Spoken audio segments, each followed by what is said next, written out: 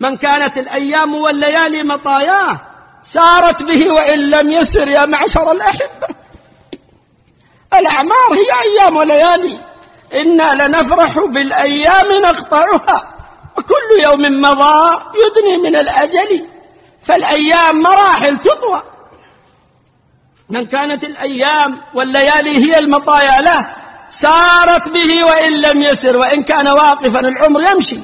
يمضي من العبد لهذا يقول القائل نسير إلى الآجال في كل لحظة وأيامنا تطوى وهن مراحل ولم أرى مثل الموت حقا كأنه إذا ما تخطته الأماني باطل.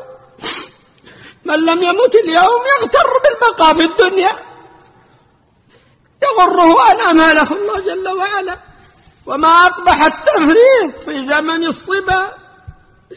فكيف به والشيب؟ للرأس شاعل.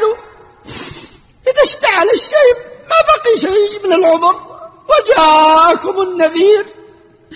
أولم نعمركم ما يتذكر فيه من تذكر. وجاءكم النذير والنذير فسر بأنه الشيب. ترحل من الدنيا بزاد من التقى فعمرك أيام وهن قلائل. ماذا يجب الإنسان؟ ما يجد شيء.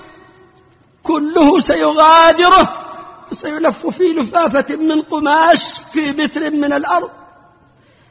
معشر الأحبة الدنيا زائلة فيجب على العبد أن ينظر فيما يقربه إلى الله جل وعلا وأن ينظر إلى أهل السعادة والتقى وأن يصحبهم وأن يقوم بما أوجب الله جل وعلا عليه.